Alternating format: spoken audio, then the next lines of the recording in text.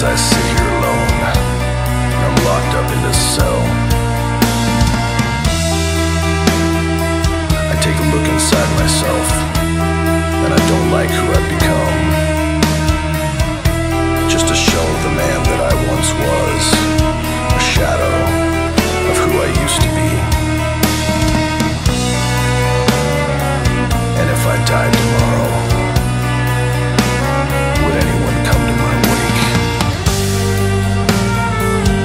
Like I'm